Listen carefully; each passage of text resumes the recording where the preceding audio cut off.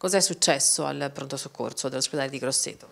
L'ennesimo pugno in faccia ad un'infermiera, una collega che, a cui rivolgo eh, come ordine di Arezzo della Toscana tutti i miei diciamo così, pensieri più di buona guarigione perché è importante avere sicurezza, sicurezza sul luogo di lavoro. Un'indagine INAIL ci dice che ci sono un caso ogni tre ore e mezzo negli ospedali italiani fino ad arrivare ai 2500 casi l'anno.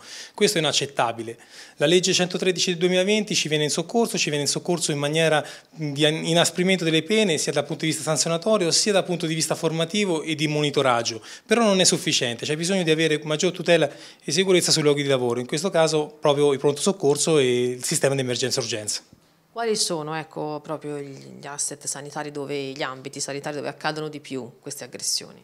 Sicuramente il sistema di emergenza-urgenza è maggiormente colpito, ma non bisogna neanche perdere eh, il focus anche sul territorio. Infatti gli infermieri, i medici che sono a casa, che vanno a casa proprio dei, dei pazienti veri, eh, c'è bisogno anche di tutelarli in qualche modo. Si sta pensando alla tecnologia, la tecnologia che viene in supporto degli operatori sanitari e che possa in qualche modo gestire il caso nell'immediato, dando degli alert, dando delle situazioni in cui il collega non si sente solo, anche eh, stando da solo a casa di, di persone che magari in quel momento momento sono malintenzionate.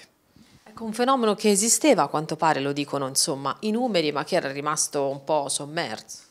Arezzo su questo c'ha un primato, nel 2019 abbiamo lanciato la campagna social Rispetta chi ti aiuta con il primo video spot per diciamo così, accendere i riflettori su questo problema. Per fortuna eh, la politica ci è venuta dietro, ci è venuta dietro mh, cercando di, di, trovare delle soluzioni legislative. La, la, legge 113 del 2020 è appunto una soluzione, ma non può essere la soluzione il punto d'arrivo di, di, questo problema. Avremo bisogno però di eh, intraprendere una campagna mediatica e sicuramente avremo bisogno della, della collaborazione di tutti quanti. Quando eh, si arriva al pronto soccorso si ha davanti personale che è formato da gestire chiaramente l'evento critico di quel momento. È necessario però affidarsi a queste persone. È chiaro che tante situazioni come possono essere la carenza di personale, possono essere alcune situazioni critiche o codici rossi che stanno gestendo in quel momento, non possono dare priorità a tante altre situazioni. Quindi è bene eh, attendere e cercare di capire il motivo per cui non c'è una risposta immediata.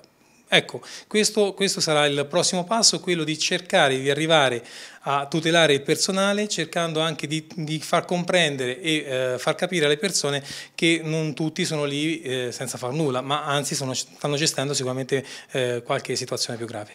Anche perché eh, se no passare da eroi come eravate nel 2020 a prendere un pugno in faccia il passo è davvero troppo, troppo breve. Ecco, quella collega lì che lavora a pronto soccorso sicuramente avrà lavorato anche nel momento più drammatico di questa pandemia e quindi credo che non sia il giusto riconoscimento che un cittadino possa fare a un personale sanitario.